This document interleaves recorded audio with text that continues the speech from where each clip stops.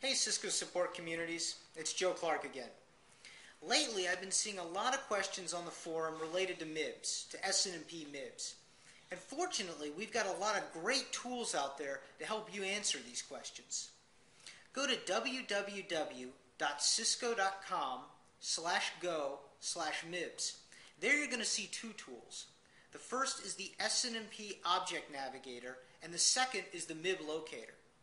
The SNMP Object Navigator will allow you to translate SNMP object identifiers to MIB object names and vice versa.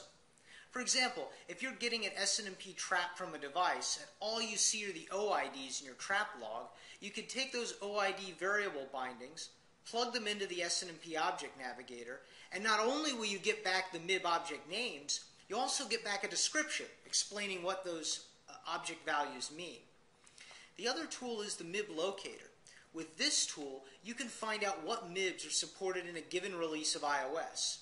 We even have some support for some non-IOS platforms as well.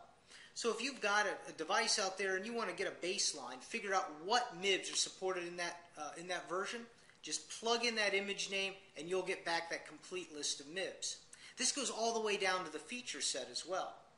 If you want to find out what IOS versions support a given MIB, you can take that MIB name, plug it into the MIB locator, and get back a list of IOS versions that support that MIB. But if you're running a newer version of iOS, it may not yet be supported by the MIB locator. Not to worry. Just send email to mii at external.cisco.com with a subject of help. This is an automated tool that will send you an email back explaining how to use it, but basically it's going to give you the latest IOS support in terms of MIBs. You give it an image, it's going to give you back a list of uh, supported MIBs.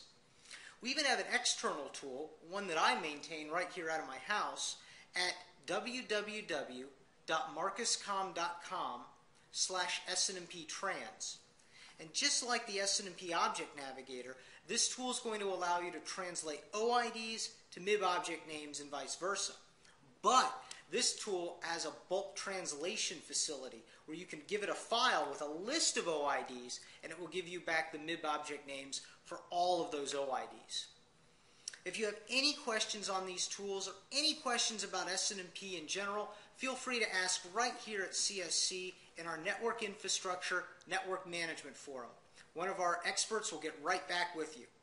Thanks, and I look forward to hearing from you soon.